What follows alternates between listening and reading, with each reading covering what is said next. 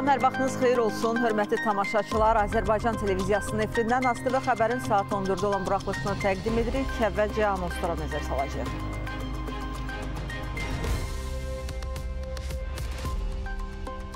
Prezident İlham Əliyev Çex Respublikasının Xarici İşlər Naziri Yakub Kulhaniki qəbul etdi. Milli Məclis Vətən müharibəsinin ildönümü ilə əlaqədar bəyanat qəbul etdi. Yaşad Fondu tərəfindən Türkiyəyə göndərilən daha üç qazimiz sağalaraq vətənə döndü. Ermənistan ordusunda baş verən ağır cinayətdə şübhəli bilinən generalların həbslərinə başlanıldı. Üç general həbs edildi, biri axtarışa verildi. İndi isə təfərrüatı ilə Prezident İlham Əliyev bugün Çex Respublikasının Xarici İşlər Naziri Yakub Kulhaniki qəbul edib. Görüş zamanı 2015-ci ildə imzalanmış Azərbaycan Respublikası ilə Çex Respublikası arasında strateji tərəfdaşlıq haqqında bircə bəyannamədən irəli gələn əlaqələrin inkişaf etdirilməsi və genişləndirilməsinin vacibliyi vurğulandı. Qeyd edildi ki, Çex Respublikasının Xarici İşlər Naziri Yakub Kulhanekin Azərbaycana səfəri post-Covid dövründə münasibətlərimizin gələcək perspektivlərinin nəzərdən keçirilməsi, eyni zamanda beynəlxalq təşkilatlar çərçivəsində əməkdaşlıq, ticarət, iqtisadiyyat, investisiya qoyuluşu, nəqliyyat, enerji sahəsində əlaqələrin inkişaf etdirilməsi, Azərbaycan-Avropa İttifaqı əməkdaşlığı məsələlərinin müzakirəsi üçün yaxşı imkan yaradır.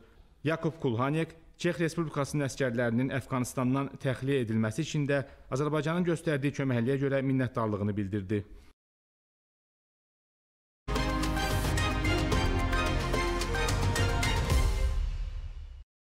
Bugün Milli Məclisin payız sessiyasının ilk plenar iclası keçirilir. Parlament vətən müharibəsinin ildönümü ilə əlaqədar bəyanat qəbul edib. Bəyanatda qeyd olunur ki, Azərbaycanın əzəli tarixi torpağı olan Qarabağ əsarətdən azad edilməsi son 200 ilə yaxın dövrdə xalqımızın məruz qaldığı torpaq itkiləri, etnik təmizləmələr və deportasiya silsiləsinə son qoyub. Azərbaycanın əzəli və tarixi torpağı olan Qarabağın həyatında yeni dövr bərpa və quruculuq dövrü başlanıb. Məcburi köçkünlərin mümkün qədər tez müddətdə doğma yurtlarına qayıtması üçün şərait yaradılır. Azərbaycan bölgənin bütün etnik qrupların nümayəndələrinin firavanlıq şəraitində yaşadıkları sülh, sabitlik və inkişaf məkanına çevrilməsi üçün özündən asılı olan bütün tədbirləri görməkdə davam eləyəcək. Payız sessiyasının qanunvericiliyi işləri planına ümumilikdə 15 məsələ daxildir. Vətən müharibəsi ilə 30 illik işğala son qoyuldu. İşğal altında olan yurt yerləri, o cümlədən Şuşa azad edildi. Mədəniyyət paytaxtımız olan bu qədim şəhərdə hazırda tikinti, quruculuq, bərpa işləri görülür. Şuşada həyat yenidən canlanır. Əməkdaşlarımız Elnur Tofiq və Elmin İsfəndiyarvın Şuşadan hazırladıkları reportajı istəyəcəyik. Qarabağın baş tacı, milli və mənəvi dəyərlərimizin simvolu olan qala şəhəri Şuşa işğal dönəmində 270 illik mövcudluğunun ən dəhşətli günlərini yaşayıb. Tarixi abidələrindən tutmuş, yaşayış evlərinə qədər talanıb, dağıdılıb. Amma bu talan Şuşanın özünə məxsus gözəlliyinə təsir edə bilməyib. İşğaldan azad ediləndən sonra şəhərin bərpasına başlanılıb.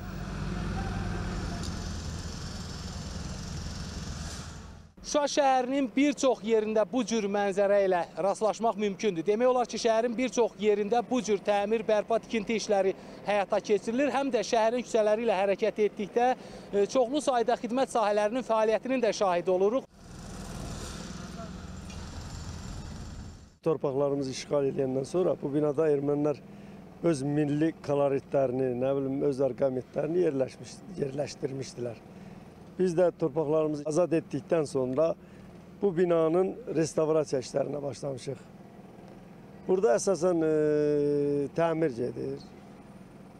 Belə deyək də, daxili, binanın daxilində işləyirik, fasadında işləyirik. Keçən ayın birindən başlamışıq, yəni avqust ayın birindən. Gələn ayın birinə, deməli, oktyabrın 15-nə qədər yekunlaşdıracaq. Bəli, Şuşada artıq həyat canlanır. Şəhərdə marketlər, hotellər, çörək bişirmə sexləri və digər iaşə obyektlərinin fəaliyyəti bərpa edilib. Hazırda Qala şəhərdə iki çörək sexi fəaliyyətdədir. Qeyd edeyim ki, mən özüm də, evladım da müharibə iştirakçılarıyıq. Onun özü elə bir qürurdur ki, mən özü evladlarıma yenidən Şuşada çörək istehsal edib verirəm. Ən qürur verici elə hal budur. O ki, qaldı istehsalımıza təminata uyğun çörək istehsalı var. Heç bir narahatçılıq yoxdur. Nə qədər lazım olsa indən belə də istehsal etməyə hazırıq. Havası, suyu və əsl sahibləri gözəlləşdirir bu diyarı. Düzdür, dağıntılar çoxdur, amma haqq savaşında birlik nümayiş etdirən xalq yenə bir olub dirçəldir qədim şəhəri. Hər bir peşə, sənət sahibi Şuşamıza töhfə vermək istəyir. Çünki Şuşa həm də bizim namus, şərəf və ləyaqət yerimizdir. Bu məntəqə Könüllü Həkimlər Assosiasiyasının qurduğu bir tibb məntəqəsidir ki, burada assosiasiyanın e, könüllü həkimləri çalışır və xidmət olunan sahə isə e, Şuşada çalışan və xidmət edən insanlardır. Bütün xidmətlər burada təmənnasızdır.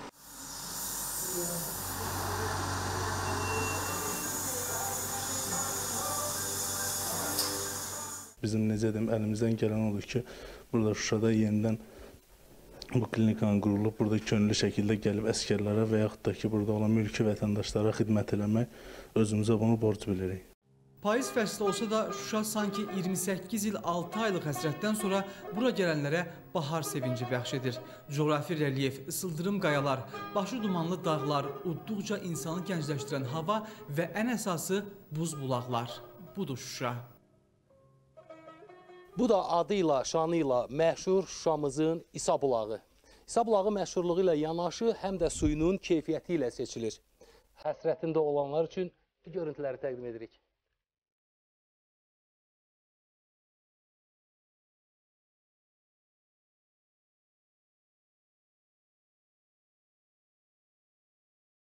Şuşaya gedən 101 kilometrlik Zəfər yolu, elektrik yarımstansiyası, daimi su təchizatı artıq istifadədədir. Biz geri döndük. İndi Şuşada həyatı bərpa edirik. Ali Baş Komandanımız İlham Əliyevin dediyi kimi, əziz Şuşa, sən azadsan. Əziz Şuşa, biz qayıtmışıq. Əziz Şuşa, biz səni dirçəldəcəyik. Elnur Tofiq, Elmin İsfəndiyarov, Samir Oruc, xəbərlər. Biz doğma Qarabağ torpağında alnı açıq, başı dik gəziriksə, bunu qəhrəmanlarımıza borçluyuq. Növbəti sujetimizdə onlardan biri şəhid Aydın Abdullayevi yaxından tanıyacaq. 1990-cı il sentyabrın 29-da Abdullayevlər ailəsinin üçüncü oğul övladı Aydın dünyaya gəlir. Cəsarəti, qorxmazlığı ilə seçilən Aydın hərbi xidmətini başa vursa da, vətən sevgisi onu yenidən hərbçi olmağa sövq edir. 2013-cü il oktyabrın 26-sında Cəbhənin Tərtər rayonu istiqamətində erməni silahlı bölmələrinin atəşkəs rejimini pozması nəticəsində şəhid olur.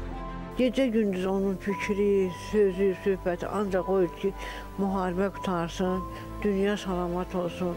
Biz o mundar düşmənlərin başını əzəyim, amma onların hamısını bir-bir biz anamızın, bacımızın intiqamını qanını onlardan almayacağım, əl çəkməyəcəm. Amma biz qalib gələcəyik. Mən gedəcəm Şuşada bayrağı mən sancacam birinci. Amma onda görəcəksən ki, biz nə cür oğlanlar, igidlərik. Onun arzusu o idi ki, vətən azad olsun, bayrağımız yüksəlsin, qəlbi təmiz uşaq, gəl. Qardaşlarını çox istəyir, anasına, ailə bizə, onun qonşuya, məktəbdə də böyük hörməti vardı. Hamı müəllimlər, müəllim kollektivi onu zaten çox istəyir. Müzəffər ordumuz Aydın kimi neçə-neçə şəhidlərimizin qisasını aldı. Torpaqlarımızı işğaldan azad edərək həm də arzusunu reallığa çevirdi. Aydın vətən üçün, torpaq üçün, millət üçün, bayrağı üçün, eli üçün şəhid oldu. Şəhid evin deyil də, elindir. Bunu hamımız yəqin ki, bilirik. Şəhidlik də elə bir zirvədir ki, hər adamın qismət olmayan bir şeydir. Aydınla uşaqlığımız hər bir günü bir yerdə keçib. Qardaşımızın qısası yerdə qalmadı. Mən özüm də 44 günlük döyüşlərdə iştirak eləmişəm və qazi olmuşam. Allah bütün şəhidlərimizə bir daha rəhmət eləsin, qazilərimizə şəfa versin. Aydın Azərbaycan Silahlı Qüvvələrinin yaranmasının 95 illik medalı və ölümündən sonra hərbi xidmətdə fərqlənməyə görə 3-cü dərəcəli medalı ilə tərtib olunub.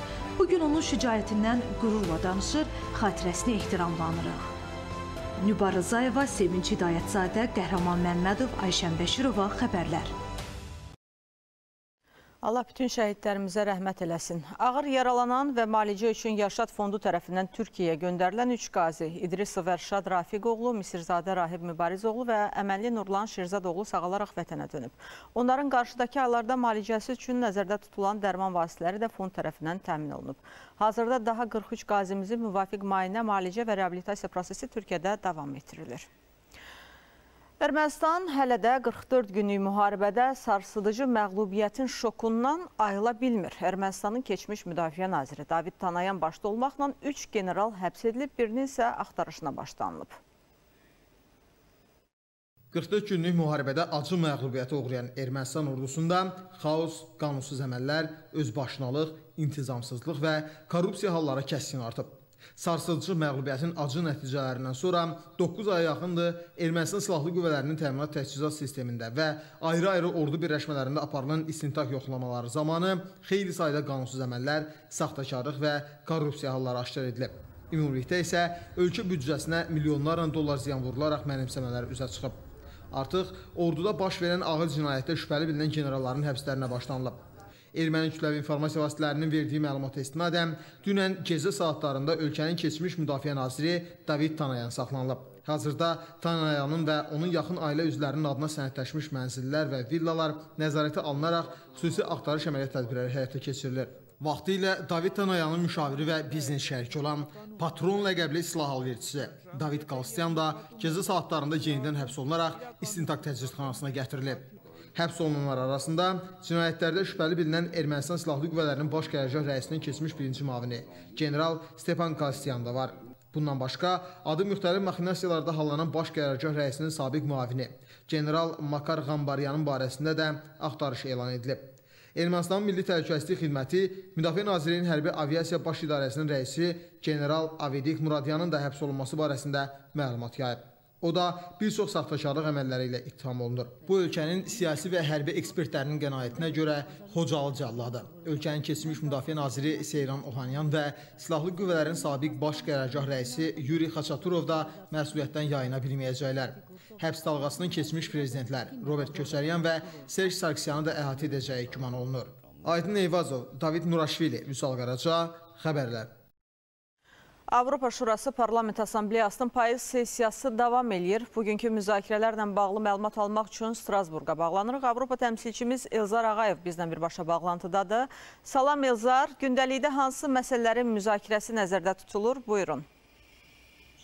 Salam Alidə, bəli, ötən 3 gün ərzində olduğu kimi bu gün də bir sıra məsələlərin müzakirəsi nəzərdə tutulur Avropa Parlament, Avropa Şurası Parlament Assambleyasında. Bu gün axşam e, yerli vaxtla saat 21-ə qədər bu müzakirələr davam edəcək və bununla da Avropa Şurası Parlament Assambleyasının payız sessiyası öz işini yekunlaşdırma, yekunlaşdırmış olacaq. Bugün səhər saatlarında Əfqanistandakı vəziyyət müzakirə olundu. Hazırda bu ölkədə qeyri-stabil vəziyyət Avropanı narahat edir və e, bu vəziyyətin Avropa üçün hansı nəticələr verə biləcəyi ətrafında fikir mübadiləsi aparıldı. Hal-hazırda Şimali Makedoniyanın baş nazirinin mavini, Avropa məsələləri üzrə mavini e, Nikola Dimitrov çıxış edir. E, ona Azərbaycanla bağlı, Azərbaycanla Makedoniya, Şimali Makedoniya arasındakı əməkdaşlıqla bağlı sual verildi və e, cənab e, Dimitrov Azərbaycanla ölkəsinin münasibətlərinin yüksək səviyyədə olduğunu dedi. Xüsusilə də kənd təsərrüfatı sahəsində iki ölkə arasında səmərəli əməkdaşlığın olduğunu və gələcəkdə daha böyük perspektivlərin yarandığını e, bildirdi. Günortadan sonrakı müzakirələrdə də e, bəzi mühüm, bütün qitəni narahat edən məsələlər ətrafında fikir mübadiləsi apar aparılacaq. Eyni zamanda Azərbaycanın Avropa Şurası Parlament Assambleyasındakı nümayəndə heyətinin üzvü Kəmal Cəfərovun hazırlığı kiber cinayətkarlıqla bağlı konvensiyaya ikinci əlavə protokol haqqında məruzəsi dinlənəcək və dediyim kimi e, axşam saatlarında Avropa Şurası Parlament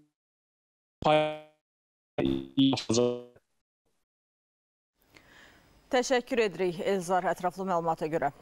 Davam edirik. Nazirlər Kabineti yanında operativ qərargahın qərarına əsasən sabahdan etibarən həftə sonu ictimai nəqliyyatda, həmçinin Bakı metropolitenində sərnişin daşıma fəaliyyətinin dayandırılması ilə bağlı məhdudiyyət ləğv olunur.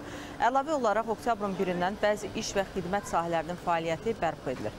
İstirahət, əyləncə və uşaq əyləncə məkanlarının ümumi tutumunun 50%-dən çox olmamaq şərti ilə mədəniyyət obyektlərinin, eləcə də konferans sallarının, kinoteatrların, teatrların fəaliyyəti, iri ticarət mərkəzlərinin nəzdindəki uşaq və digər əyləncə mərkəzlərinin ümumi tutumunun 50%-dən çox olmamaqla kinoteatrların fəaliyyəti bərpa olunur. ASTV xəbər davam edir. Dünyada indiyədək yeni növ koronavirus aşkaranan insanların sayı 234 milyon 100 min ötüb. Rəsmi statistikaya görə yoluxanların 4 milyon 789 mindən çoxu bu infeksiyanın qurbanı olub. Ümumdünya Səhiyyə Təşkilatı yenidən COVID-19-a qarşı vaksinlərin qeyri-bərabər paylanmasını tənqid edib. Bu arada Fransada 260 nəfərə istifadə müddəti bitmiş Pfizer peyvəndi vurulub. Dünya Səhiyyə Təşkilatının baş direktoru Tedros Adhanom Ghebreyesus yenidən vaksin qeyri-bərabərliyini tənqid edib. Kolumbiya Universitetinin təşkilatçılığı ilə keçirilən Dünya Liderlər Forumunda çıxış edən Ghebreyesus vaksinlərin 75%-nin yüksək gəlirli ölkələrin payına düşdüyünü bildirib. Aşağı gəlirli ölkələrdə isə bu rəqəmin yarım faiz təşkil etdiyini vurğulayıb. Hazırda dünyada 6 milyarddan çox vaksin istifadə edilib. Dünya əhalisinin demək olar ki, üçdə biri peyvənd olunub. Lakin bu rəqəmlərin arxasında dəhşətli qeyri bərabərliyi dayanır, deyə Gebreyesus bildirib. Təşkilat rəhbəri Afrikada əhalinin cəmi 4%-nin peyvənd olunduğuna diqqət çəkib. Gebreyesus bir daha hər bir ölkədə 2021-ci ilin sonuna dək əhalinin 40%-nin, 2022-ci ilin ortalarına dək isə 70%-nin peyvənd olunmasına dair təşkilatın çağırışını xatırladıb. Bu arada Fransanın cənub-şərqində 260-a yaxın sakinə istifadə müddəti bitmiş Pfizer preparatı vurulub. Onların arasında Luara Departamentinin 7 kollecinin şagirdləri də var. Dərman vasitələrinin təhlükəsizliyi üzrə Milli Agentlik Pfizerin bu partiyası ilə peyvənd edilən şəxslərin sağlamlığı üçün hər hansı bir təhlükənin olmadığını, lakin vaksinin effektivliyinə zəmanətin verilmədiyini bildirib. Bununla əlaqədar şagirdlərə təkrar peyvənd edilmək təklif olunacaq. Kanadanın Ontario əyalətində isə 18-24 yaş arası gənclərə Amerika Birləşmiş Ştatlarının Moderna vaksininin vurulması tövsiyə edilmir. Yerli icra orqanları müvafiq qərarı əyalətdə son vaxtlar sözü gedən preparatın vurulduğu şəxslər arasında nadir ürək xəstəliyinin yayılması ilə izah edib. Xavər Əliyeva, Fərda Abbasova xəbərlər. Hörmətli tamaşaçılar, bu saata bu qədər Azərbaycan televiziyasının efirində növbəti xəbər vaxtı saat 16-da olacaq. Sağ olun, salamat qalın.